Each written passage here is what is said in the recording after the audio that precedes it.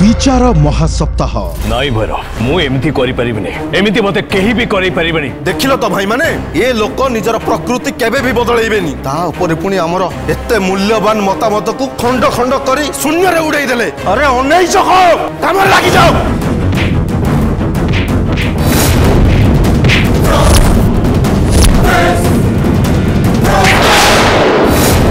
ସାବିତ୍ରୀ ଆଜି ରାତି ନଅଟା ତିରିଶ କେବଳ ତରଙ୍ଗରେ